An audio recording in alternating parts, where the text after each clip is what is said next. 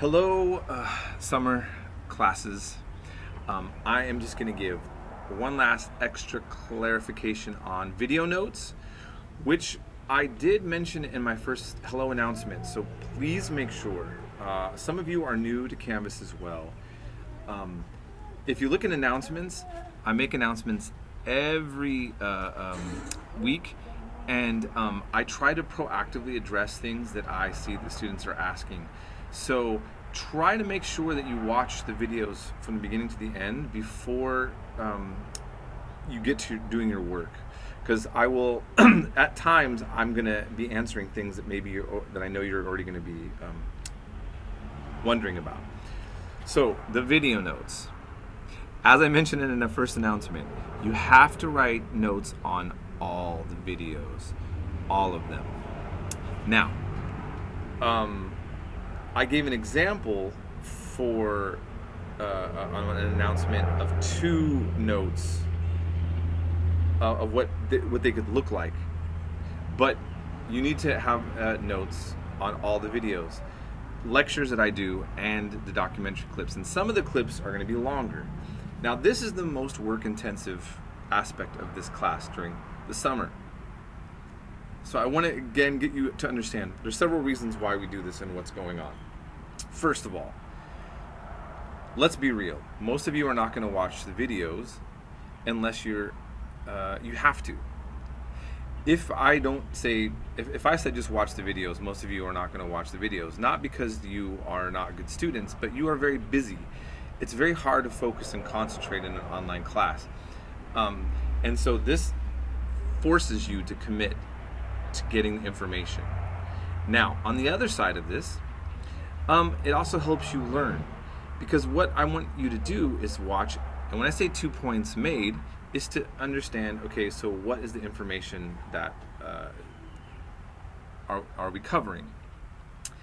And then third, in my last announcement, I made a recommendation that I really, really, it's not a requirement, but I really, really recommend this, and it makes the video note taking make more sense for you.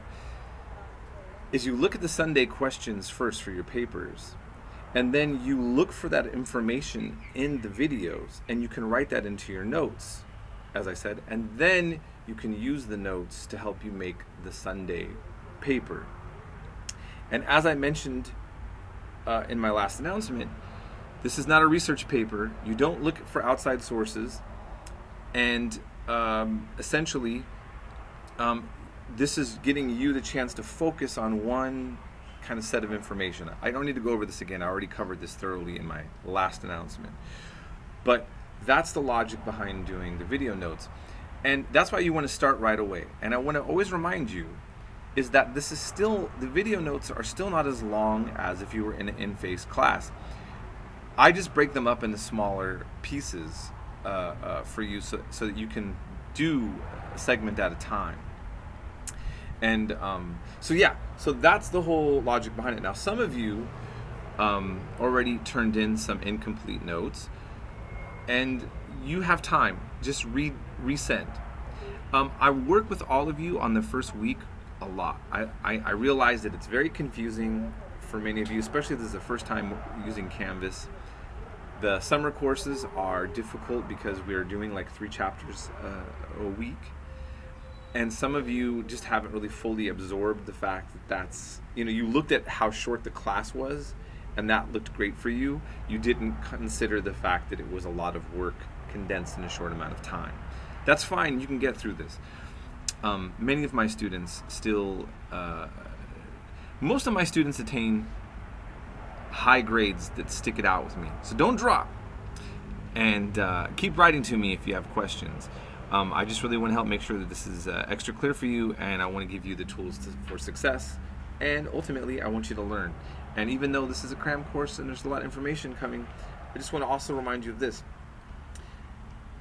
Instead of worrying, because remember, you don't have to memorize. I don't make uh, you memorize uh, uh, uh, lots of facts and that kind of stuff try to conceptualize the world we live in. Think about the fact that we still see religious conflicts taking place today. Think about the fact that Europe doesn't really make, uh, uh, is not that religious anymore. But think about how, you know, it was, for example, or I mean, think about the information that you're learning and, and, and what news events you see today and try to start kind of conceptualizing like how significant that is or, or maybe eventually helpful for you to understand um, where we're at now um, and so uh, what i'm hoping that this can do for you is actually um, just start kind of giving you uh, uh, making you less intimidated by learning information about the world as opposed to you trying to memorize so many little details that you know you just get overwhelmed and you're worrying about passing an exam as opposed to actually learning something. So i want you to learn. So that's my goal and um, i want you to succeed um, but we do have to do a lot of work and i didn't invent the concept of a cram course and neither did you um, and this is what we have and so you work with that and um, you know, I wish you all the best of luck, and we'll be in touch. And again, contact me if you need me.